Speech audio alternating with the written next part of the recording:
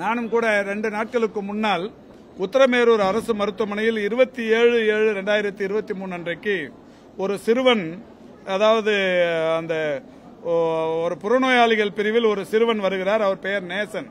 ஒரு பதினோரு வயது சிறுவன். அந்த பையனுக்கு அந்த சிறுவனுக்கு என்னன்னா ஒரு லேசான இழைப்பு. அந்த மூச்சு அரைக்கிற மாதிரி ஒரு அந்த இதோடு வந்திருக்கிறாரு. அவருக்கு வந்து ஒரு டாக்டர் பார்த்துட்டு என்ன பண்ணிருக்காருன்னா மருத்துவர் ஒருவர் அருணா ஜோதிங்கிற மருத்துவர் அவரை பார்த்து அவருக்கு நெஃபிலிஜேஷன் கொடுங்க அப்படின்னு சொல்லி அஹ், நர்ஸுக்கு எல்லாம் சொல்லிட்டு போயிருக்காரு நர்ஸ் வந்து ஒரு ஓட்டு மாஸ்க் எடுத்துட்டு வந்து கொடுத்து அந்த சிறுவனுக்கு போட சொல்லியிருக்கிறாங்க. அப்ப உடனடியாக அவருடைய தந்தை அந்த சிறுவனின் தந்தை இந்த ஓட்டு மாஸ்க் நிறைய பேர் போடுறதால இதுல வந்து இதுவாயிருக்கும். கிருமி தொற்று இருக்கும். அதனால இது வேணாம். நான் ஒரு பேப்பர் கப் எடுத்துட்டு வந்திருக்கிறேன்.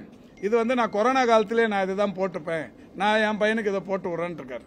அப்போ அந்த நர்ஸு சொல்லிருக்காங்க வேணாங்க.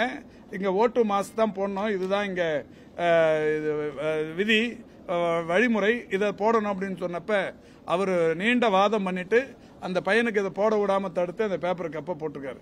போட்டுட்டு அவரே வீடியோவையும் எடுத்து பத்திரிகைக்கு கொடுத்துருக்காரு இந்த செய்தி தெரிஞ்ச உடனே நானும் உடனடியாக அதிகாரிகளை விட்டு என்னன்னு விசாரிக்க சொன்னேன். இந்த தகவலை சொன்னாங்க. தகவலை சொன்னதுக்கு அப்புறம் என்ன சொன்னோம்னா மேலதிகாரிகளுக்கு எதுவாக இருந்தாலும் இது தவறு.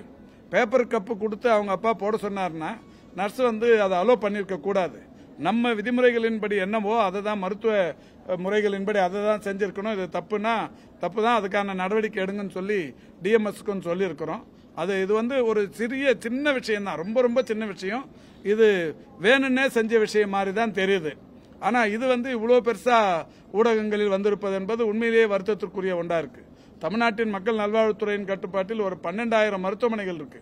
பன்னெண்டாயிரம் மருத்துவமனையில் சின்ன சின்ன குறைகள் இருந்து ஊடகங்களும் பத்திரிகைகளிலும் தெரிவித்த உடனே நாம அதை சரி செய்கிற பணியில் நூறு சதவீதம் ஈடுபடுகிறோம்.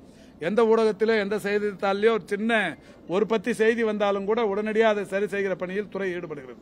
இப்படி இருக்கிற போது ஒரு சின்ன ஒரு விஷயத்தை பூதாகரப்படுத்தி எல்லா பெரிய தொலைக்காட்சி நிறுவனங்களும் அதை பெரிதாக்கி கொண்டு நேற்றுக்கு ஒரு ஆங்கில பத்திரிகைகள் வந்தது. அதுக்கு நான் பதில் சொல்லியிருக்கிறேன். மாலை அதே செய்தி ஒரு தமிழ் பத்திரிகையில் வந்தது. அதுக்கும் என்னுடைய பதிலை போட்டிருக்காங்க. அதுக்கப்புறமும் இதை எடுத்து தொலைக்காட்சிகளில் பெருசுப்படுத்துறது. இந்த பேப்பர் கப்பு எடுத்துட்டு போய் யாரோ திணிச்சா மாதிரி அந்த ஆஸ்பத்திரியில் வந்து ஓட்டு மாஸ்கே இல்லைன்னு சொல்ற மாதிரி ஒரு பெரிய பொய்யான தகவலை பரப்பி கொண்டிருக்கிறார்கள். உத்தரமேரூரில் இதில் கேட்டதில் அந்த ஓட்டு மாஸ்க் பெரியவர்களுக்கு தரப்படுகிற ஓட்டு மாஸ்க்கும் சரி சிறியவர்களுக்கான தரப்படுகிற ஓட்டு மாஸ்க்கும் சரி போதுமான அளவுக்கு கையிருப்பு இருக்கு யார் வந்தாலும் நாங்கள் காட்ட தயாருன்றாங்க.